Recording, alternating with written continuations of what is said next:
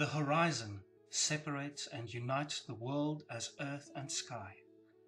Light is the grand measure traversing this divide. It bestows character, shape, articulation, coherence, and drama. A poetic, rhythmic movement of moments and regions of significance. As grand measure, light is presence. It guides and attunes the mortal and shows her world. A luminous totality of earth and sky, light and mortal care.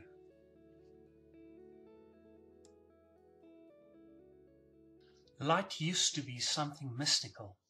The first nation of southern Africa, the San, looked at the lights in the night sky and heard the stars. Han Kasu said that the stars take your heart, for the stars are not a little hungry for you. The stars exchange your heart for a star's heart, because the stars are saying, Tsau, Tsau, Tsau, Tsau, Tsau.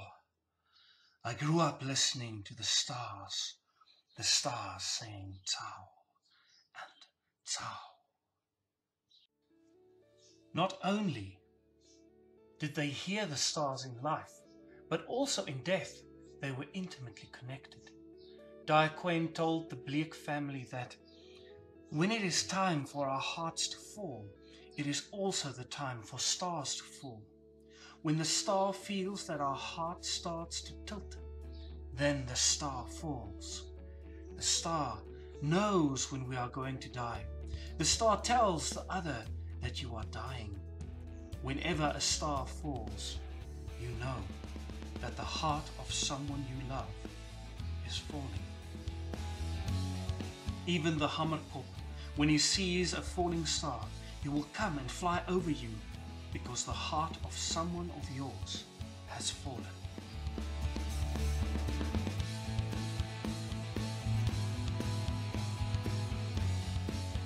And the stars fall in the water of the Harib. Yes, the water is full of stars.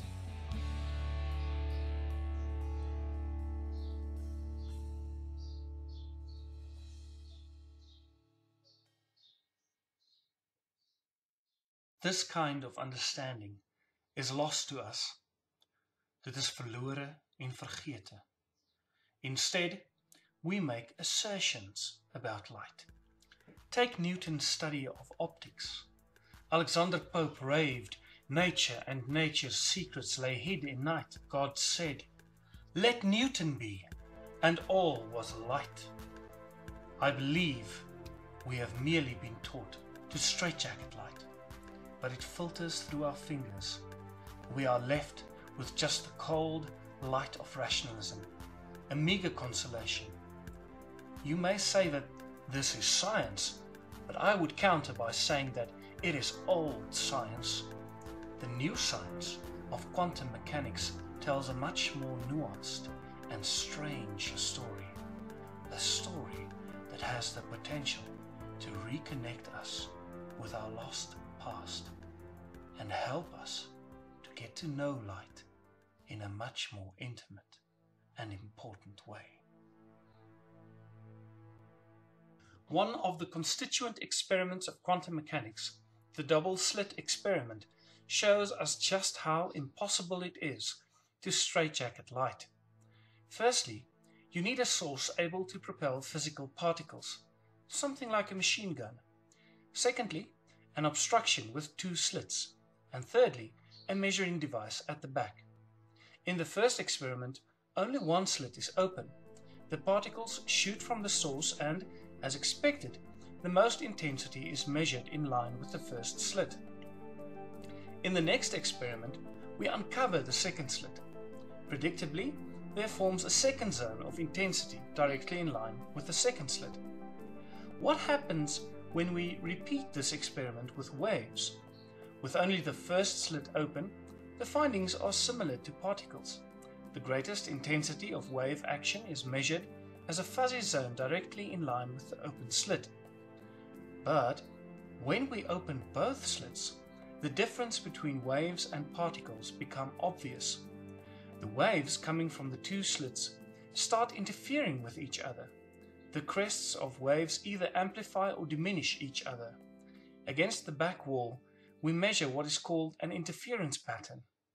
So far so good, but what happens when we repeat these experiments conducted at the physical level with marbles and waves, now at a quantum level, the level of electrons and photons.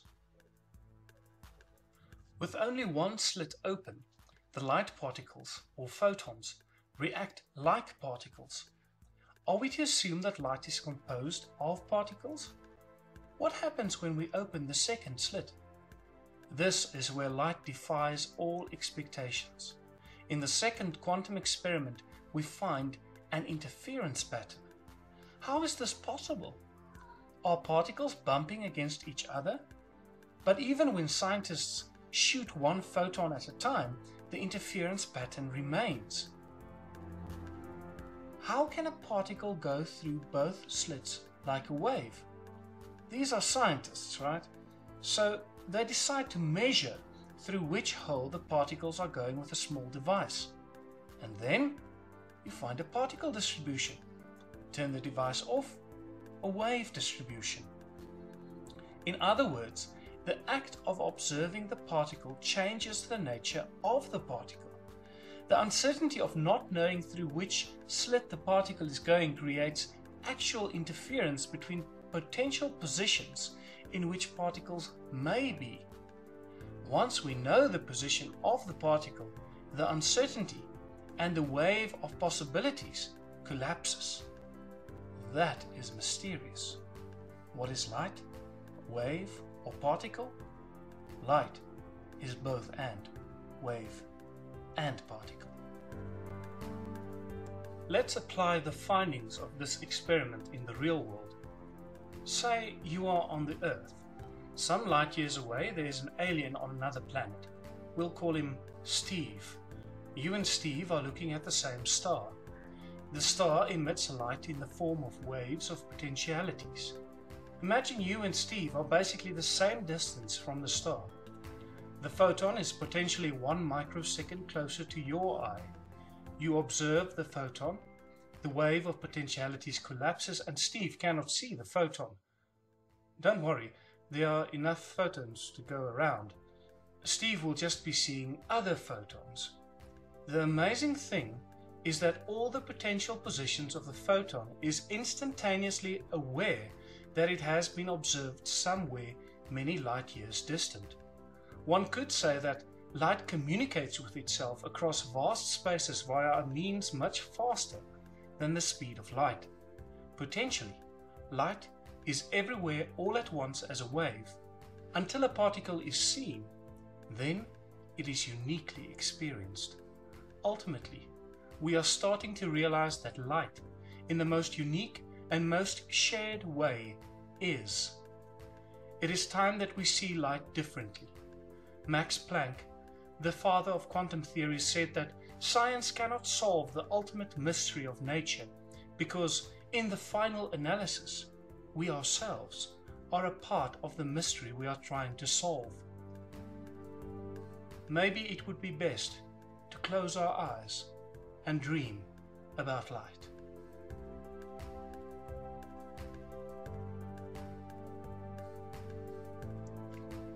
Light is more mysterious than we thought, but maybe we can extend the lessons of the new quantum science beyond science how is it connected to our own presence, to the way we live in the world? We may think of our reality as composed of the abstractions of space and time, but that is not how we live. This is the message of Martin Heidegger's notion of being in the world.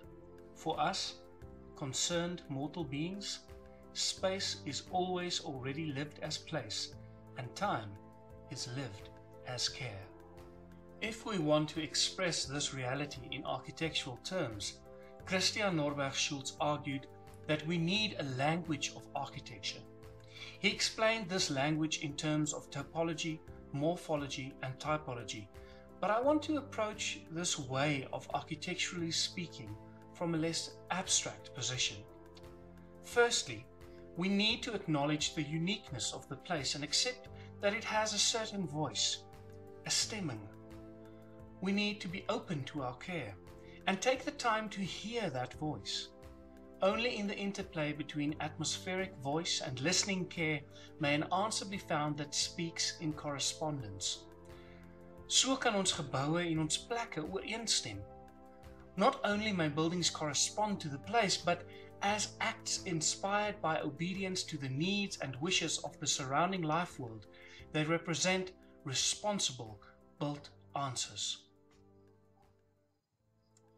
In this basic obedience, we are brought face to face with the destiny of the place, and we are invited to belong to it.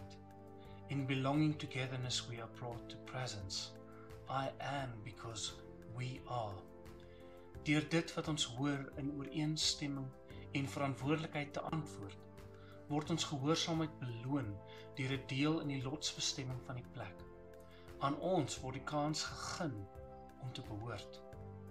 The nature of drawing close can succinctly be described in terms of Norwegian, Afrikaans, and German words for presence.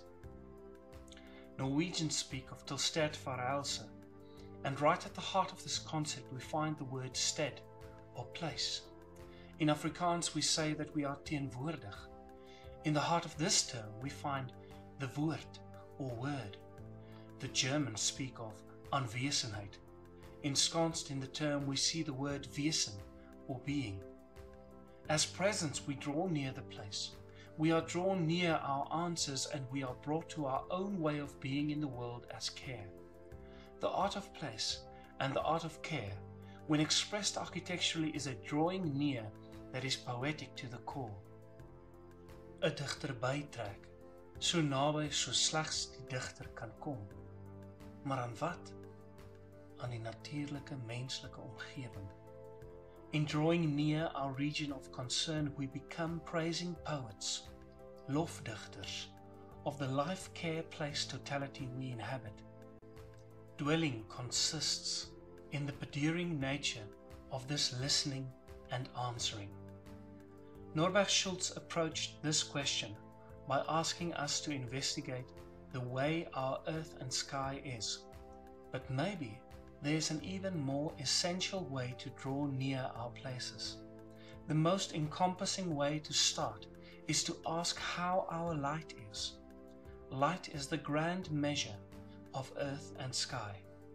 Die metrum, die poëtiese ritme wat ons toelaat om saam te sing en digter teenoor ons plekke te skuif. Light is the measure, the rhythm that allows us to make in harmony with the way of life. It is time to take a long, hard look at light and how it may shape and be shaped by our architecture.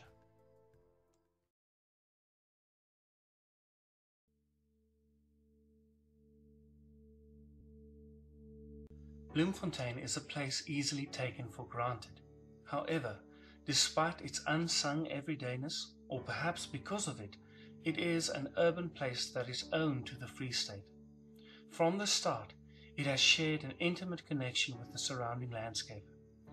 The 1848 map of Bloemfontein shows the city as a pinprick of civilization, nestled between four key topographical elements Naval Hill and Signal Hill in the north, Fort Hill in the south, and a dolerite ridge extending between Signal Hill and Fort Hill.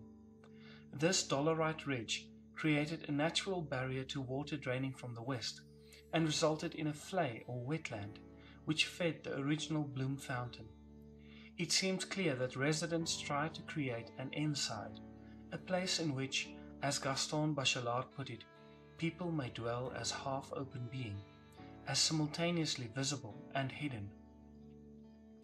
Charles Hamilton's 1866 panorama shows that Bloemfontein now had a more settled air about it the church and the market square being on the north-south institutional axis and the residential east-west axis of the Watererwe along Bloemspruit.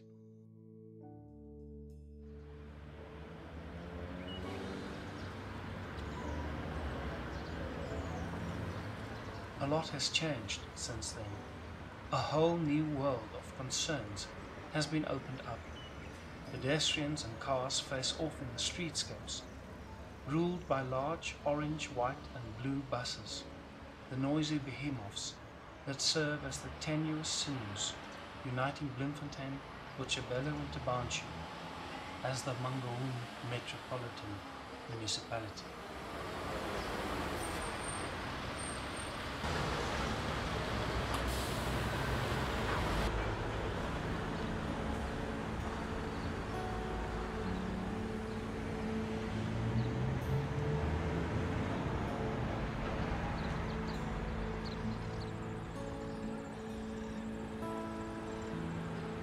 Interactions are complex and filled with tensions, a foreign place when viewed from the perspective of the past. And yet, in the morning, as the sun breaks over the presidency, one can only echo the words of Louis Kahn. Sunlight never knows how great it is until it hits the side of a building or shines inside a room. The Free State province is the agricultural heartland of South Africa. In Long Walk to Freedom, Nelson Mandela described this outstretched grassland as a place that always had a magical effect on him. He continued, with its flat, dusty landscape as far as the eye can see, the great blue ceiling above the endless stretches of yellow mealie fields, scrub and bushes, the Free State's landscape gladdens my heart no matter what my mood. When I am there, I feel like nothing can shut me in, that my thoughts can roam as far and wide as the horizons. What is it that touches our soul? A place with so little natural features? Could it be the light itself? Juhani Pallasmaa would certainly argue that it is a possibility. He said, the world touches us and we touch the world, primarily through the medium of light. Somehow, these buildings have become emblematic of the Free State. Somehow, the way they respond to the light has a ring of truth about it. This is not something lost to history. It can be seen in both the High Court and its new neighbor, old and new ways of celebrating the same light. A certain precision, a barely softened clarity that gives way to glowing late afternoons when the sandstone asserts itself in much more dramatic ways.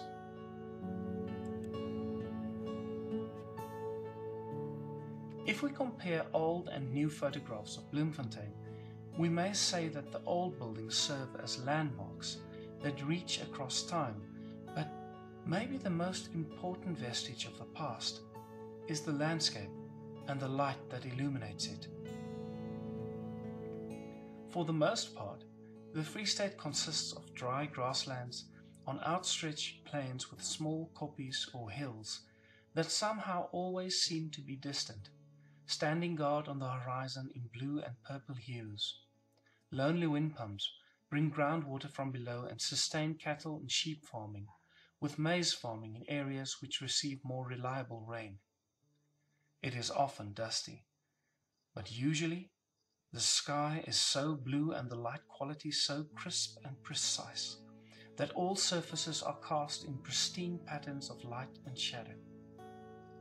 In general terms, we find open grassland plateaus with a cosmic quality, hills covered in bushes and wild olive trees conferring a micro-romantic quality on isolated areas, and a sky which is large without being absolute.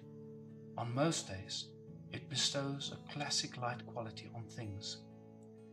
Maybe this is why the buildings of President Brand Street is so striking.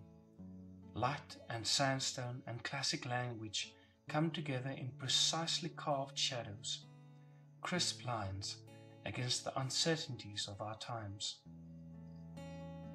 These may seem like lessons from ancient Greece, but they are also lessons of the Platteland, the rural surroundings. The soft glow of sandstone walls stands in stark contrast to the corrugated steel sheds that has become ubiquitous in the province. Here we see a different kind of precision, independent of the scattered clarity bestowed by the crisp sunlight on the rough chiseled sandstone. These steel structures provide a form of tectonic expression that complements the stereotomic stone walls, and yet the classic light quality somehow gives the corrugated steel surface a rhythm that reminds of fluted columns. In combination, the stone and steel speaks of the age-old dialogue between earth and sky. It is this combination that is celebrated in our best contemporary architecture, crisp tectonic structure and heavy grounded base. But there are also romantic pockets strewn through the province. They are few and far between, and they may lack the mystic glow of true romantic light, but in these microcosms, the sky becomes smaller, the horizon disappears, and the ground becomes more unpredictable and varied. However, predominantly, the Free State is a region of grassland and towering sky. Grass and sky and grass and sky. And maybe a bit of wind.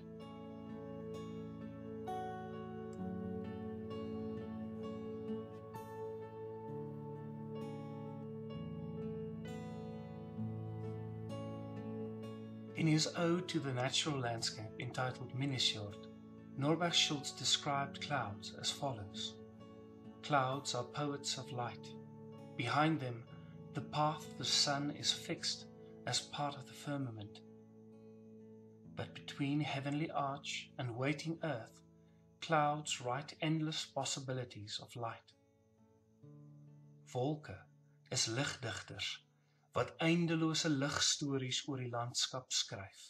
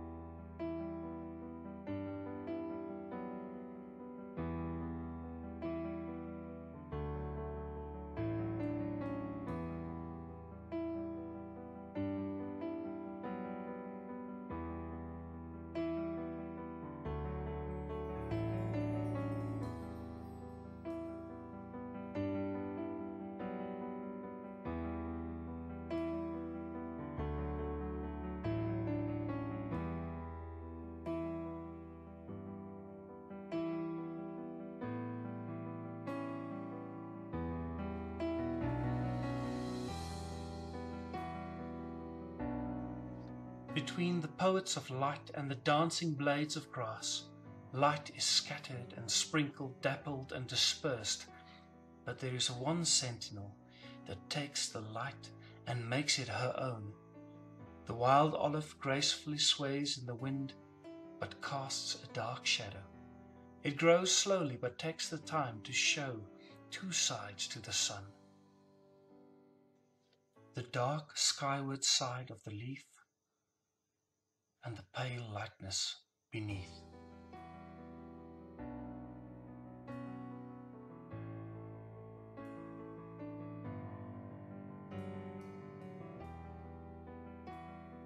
Together, the leaves of the tree dance towards the sky in a shifting interplay of light and shadow.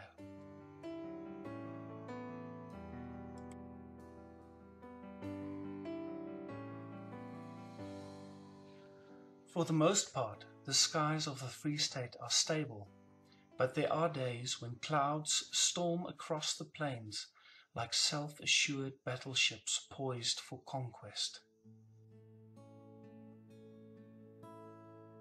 These are moments when everything seems to hold its breath. Finally, rain comes down in buckets We've forgotten the flood of 1904, so we aren't scared. We may seek shelter against the violence of the storm, but we're not afraid. We merely wait out the downpour. Because inevitably, just as suddenly as it began, it will be over. Inevitably over. Dit word mos altyd weer mooi weer in die Vrystaat.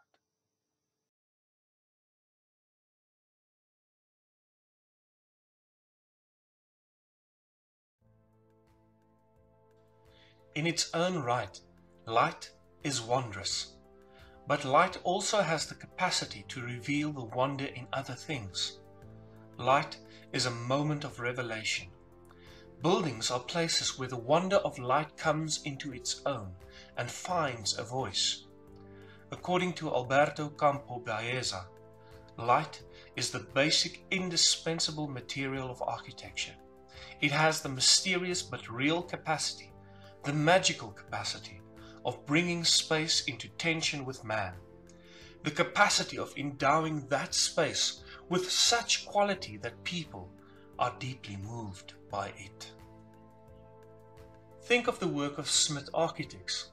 Think of the way these well-known houses tell a story of light and shadow, concealment and revelation. In House in Enkalweni, the mass of the building hides the landscape, then frames it, the path is bisected by the circulation route. But once you move through the portal, the landscape opens up in its free state vastness. Ultimately, House in Enkalweni celebrates a path of light, an approach that is first constricted and then opens up to the expansive landscape. But what if one had to build in a place dominated by the romantic, a place enclosed in shrubbery and bushes? Boshuis shows a different approach. Ensconced in the bushes surrounding one of the hills on the outskirts of Bloemfontein, the functions of the house has been separated like boulders strewn in a forest. There is still a threshold, but now the big reveal opens up only to immediately be swallowed by an intimate microcosm. Instead of openness, the view is diffuse and fragmented in the same way that the program has been scattered. In this project, Jan and Petria designed an inside that filters into an existing inside, with natural and man-made showing each other much empathy. An intimate unity, where the borders between inside and outside, natural and man-made become inconsequential. In their own house, the steepness of the site unfolds as a story of ascending into the light. Essentially, they used a thick linear wall to create strong order on the site and separate private and public spaces. The circulation route crosses this threshold when one enters the house, from bright light to muted interior. But once one is through the thick wall, a more generous light becomes visible. The transition between inside and outside is uninterrupted yet articulated. The path follows the light-washed wall when ascending the hill. When one moves to the private side of the house, one again moves through the ordering element. The path nears its end, but there is still a goal to be reached. A raised platform from which to survey the surroundings, presented to the light and celebrated by it. In the work of Sm!t Architects, the different voices of the Free State light rings true.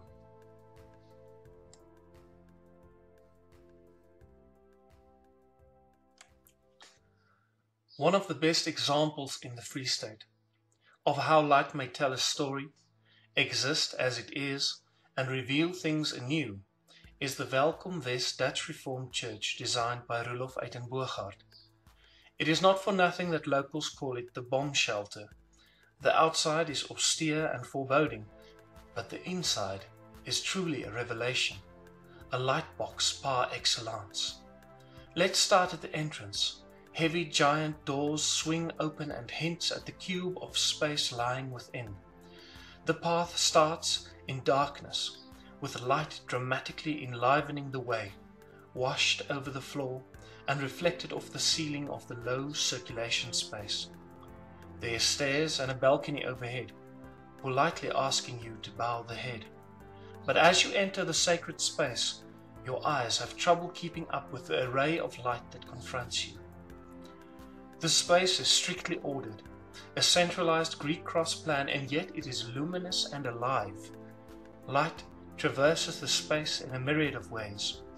The altar reaches up into the sky, its heavy materiality transcended by its dynamic form and careful articulation. The wall behind the altar is bathed in reflected light.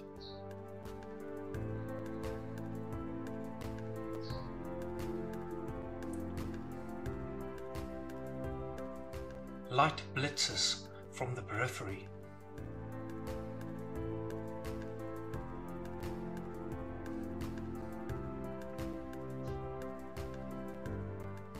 The upper reaches, washed in light from above, articulated with shadow lines, the absence of light.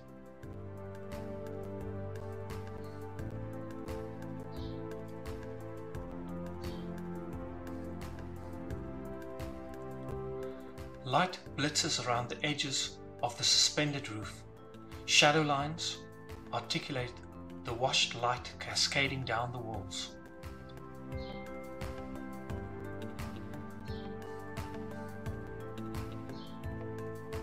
The floating roof, simultaneously etched against the surrounding light and enlivened by reflected light.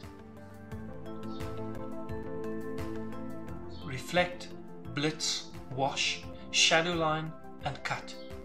These are some of the ways Uytenbogaardt modeled light in the space. A careful choreography. The following diagram illustrates the way light enters the church in the morning, the time during which I visited the church. The altar is against the northern wall, and the light is thus predominantly coming from the east. Light reflects into the dark circulation space below the balcony. It creates a cut line that elevates the building from the ground and washes across the floor. Light finds the narrow fissure carved by the architect, reflects into the main space and if the ventilation flaps are open, deliver a cut of light articulating the balcony. Simultaneously, Light reflects off the external eastern wall and washes the balcony with diffuse light. Light blitzes through the hidden clerestory windows, thereby articulating the floating roof. At the same time, it reflects into the space and washes the rough brick and concrete walls with light. Of course, indirect light mirrors this situation on the western facing windows. On the balcony housing the organ, a soft light is reflected along the underside of the angled concrete roof. The west-facing circulation space is ominously lit. The story of the eastern circulation space will repeat itself in this walkway later in the day, when space is animated in a new way. Let's investigate some particular moments in which light is accompanied, shaped and bent by the built structure. First, the cut. A slit of light, which of course washes the surroundings. From the outside, a mere articulation device. But on the inside, it enlivens the space and creates clear differentiated zones. Next, the wash. Here we once again think of Kahn's words, the surface lovingly accepting the light, drawing it into itself, and then showing it as it is.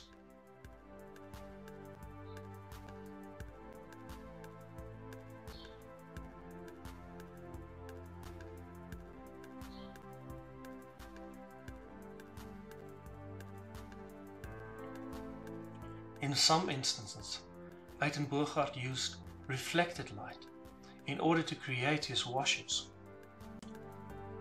Glare is minimized and hidden sources of light add to the drama and mystery of the experience.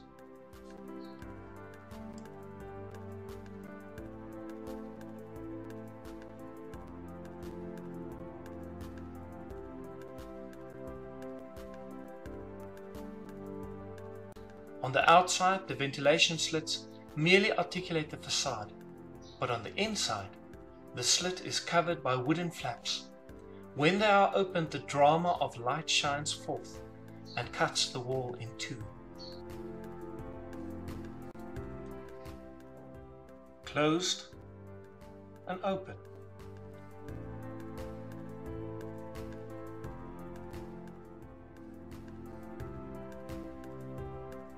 From along the edges of the roof, light blitzes down.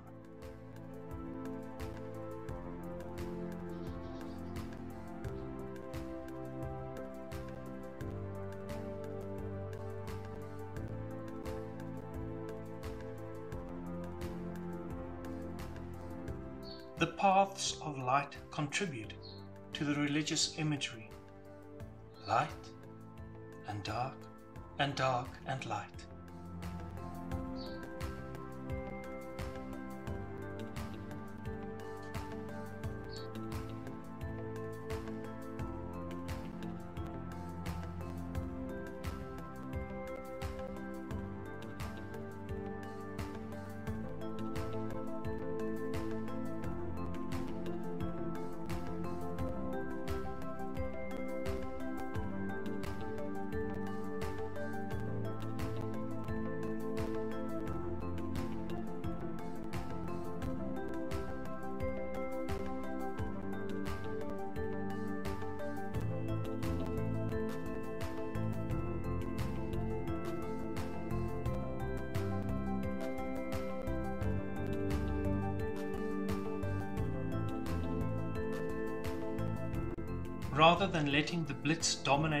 Space, Uytenbogaardt reins it in with shadow lines, boundaries to the many planes of light.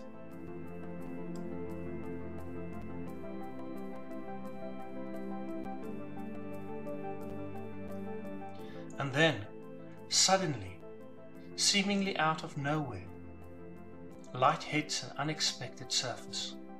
It lingers for maybe five minutes and then disappears. It will probably happen again tomorrow. In the same way that light is deconstructed, the organ itself has been pulled apart and celebrated, exploded against one whole side of the church. On all sides, light is guided onto certain levels and excluded from others, levels and elements, things and their frailties.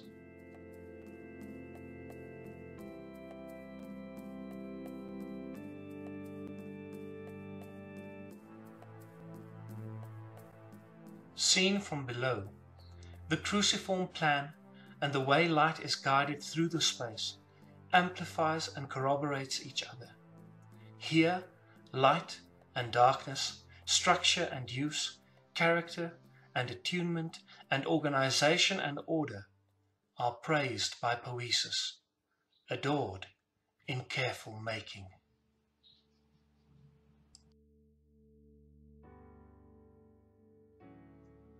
I have spoken about the Free State light, but until now I've presented only one way of looking at it. It is the way of looking I am most accustomed to, but it is not the only way. In the Free State, architects not only have to ask this question in terms of the Heideggerian fourfold, but also this question. When the first pioneers crossed the Orange River in the early 1800s and settled in the Free State, the area was already inhabited by many indigenous groups, predominant among them the Sotho. The Sotho lived in circular huts with walls constructed of earth and an internal wooden structure that supported the thatch roof. The walls were decorated with patterns called ditema. These patterns usually had a geometric underpinning, but contain innumerable variations.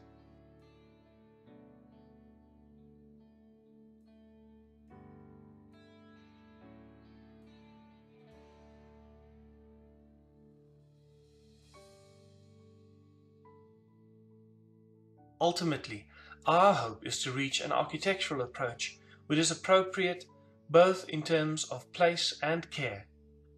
that is, all the cares of the place. Such things take time.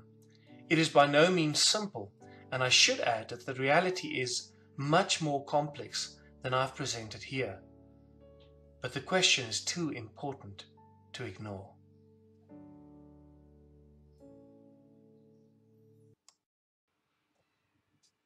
In the Free State, architects learn at the start of their education that the traditional approaches are not only important, but also significant. There is something about the way mud captures and almost seizes the light. Even when the sun retreats behind a cloud, mud holds and keeps the light. There's something about the tectonic rigor of reeds, the crisp patterns of light and shadow, and the exacting order of reeds against the bluest of skies. Light not only is, light also reveals the grand measure that unlocks the wonder of things. Light discloses what Heidegger referred to as the frailties of things. In the light, we get to know the things. In the words of Rilke, praise this world, not the untold world, to the angel. Bragging our glorious emotions will not affect him. In the cosmos, where he feels the more feelingly, you are a novice. So show him that which is simple, shaped over generations, at home here, truly our own near at hand, in our range of vision. Tell him things. He will stand in amazement as you did by the Roman rope maker or the potter who worked by the Nile. Show him how happy the thing can be, ours, innocent. How even grief's lament decides pure to take form, serve as a thing, or die into a thing. Serenely slipping far past the violin. And these things, living by passing from life, understand that you praise them. Transient, they trust us to rescue them. Us, the most transient of all.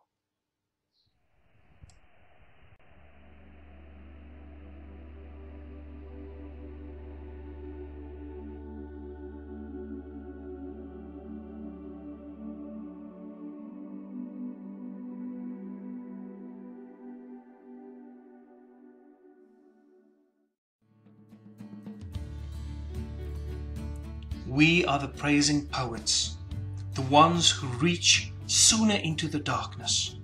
Our only desire to grasp hold of something and drag it into the light. We don't demand complete comprehension, but somehow we are one breath ahead. Not so far that no one else is able to follow, but in such a way that when they see what we have made, it will reach out to them as well in drawing near to place and care, these things will also speak to them in captivated obedience. The reciprocal relationship between reverent hesitance and the overwhelming abundance of light. We are attuned to the grand measure, united in our admiration of the way light reveals the world. The Afrikaans word for captivating, bekoorlik, alludes to the way dwellers may harmonize with the place and the cares of each other, united in a praising choir. As grand measure, light has the capacity to draw us into closeness, into the shared destiny of the place. As Norberg Schulz said in Minnesjord, light and darkness are the sky's gifts to the world. They determine the space where all things belong together. Amid the precariousness and poetics of mortal being in the world, works of architecture affirm our capacity to translate our emplaced care in a way that celebrates the grand measure. In response to the gifts of the sky, architects are called to gratefully appreciate and safeguard the content it reveals. When seeing our grateful answering rise up in the buildings before us, we receive an unexpected consolation, the dignification of our care. In these moments, the constructs which seem to illuminate as care and place are fused in the ecstatic openness and steadfast captivation of architecture as the art of life.